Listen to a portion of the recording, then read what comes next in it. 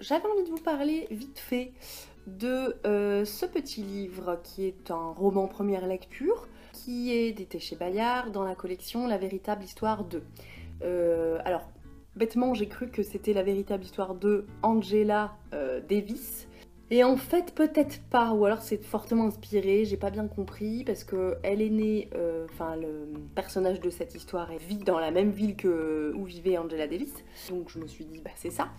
Et en fait, après, il y a des trucs qui collent pas sur euh, les métiers des parents et tout, donc je me dis c'est peut-être juste inspiré. Bref, ça parle euh, de racisme et de droits civiques pour euh, les Noirs et de Martin Luther King c'est entrecoupé de petits extraits documentaires qui expliquent un peu qui est qui et qui a fait quoi et qu'est-ce qui se passe à ce moment-là, puisque du coup ça se passe dans les années 60. Voilà, c'est vraiment une chouette lecture pour les enfants euh, de CPCE1 euh, si on veut aborder ce genre de thème. N'hésitez pas.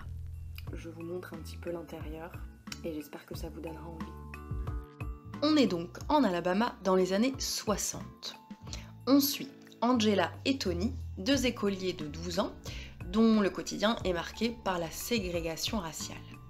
Puisqu'ils sont noirs, ils n'ont pas le droit d'entrer dans la bibliothèque municipale, pas le droit de boire à la même fontaine que les blancs, au risque de se faire insulter ou pire de se faire arrêter.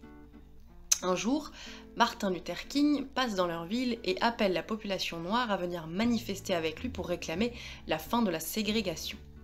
Angela est très excitée à l'idée de participer à cette marche. Malheureusement, ses parents, inquiets d'éventuelles violences, lui demandent de rester à la maison. Déterminée, Angela va contre l'avis de ses parents à la manifestation.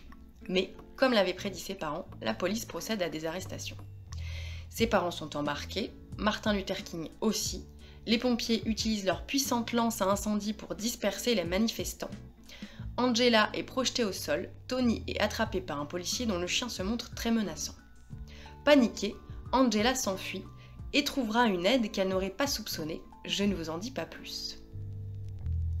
Comme je vous le disais, le récit est entrecoupé de pages documentaires très intéressantes qui apportent des éclairages historiques au contexte.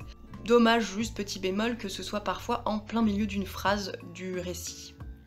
J'aurais préféré qu'elles soient toutes à la fin du livre et qu'on puisse euh, bah, lire le récit complet et ensuite euh, les pages documentaires euh, à part. Mais bon, voilà, c'est un choix éditorial que je trouve malencontreux, si je peux me permettre.